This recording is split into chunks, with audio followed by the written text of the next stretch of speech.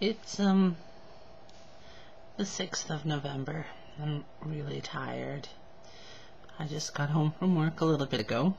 Uh, it was a long shift. I uh, ended up staying an hour afterward because we had a little bit of a crisis and uh, I wanted to make sure that everything was resolved before I came home.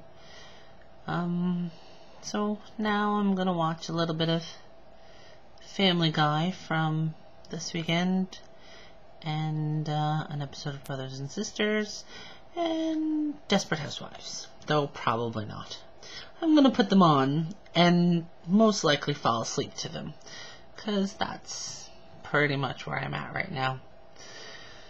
Um, I went into the pet store on the way home, stopped by because it's right near where the bus stops, and uh, I wanted to um, buy some plants for my fish tank because it's kind of bare.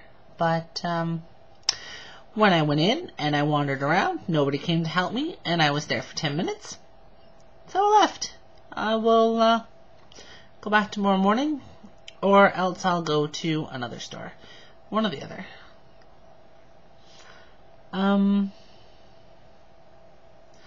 it's raining now. Just happened since I got home which is not a problem. I'm, uh, doesn't really hurt my feelings that I missed out on the rain. Um,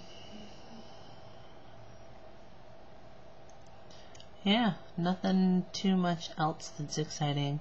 I work again tonight, hopefully only seven hours instead of uh, nine and a half. But uh, we'll see. Whatever just depends as long as everything gets done. Um, I had more that I wanted to say today because the past few days I've just been kind of rambling and prattling on and haven't really said anything of consequence. So hopefully something comes to me and maybe I will add to this or rather post uh, uh, part two um, this evening.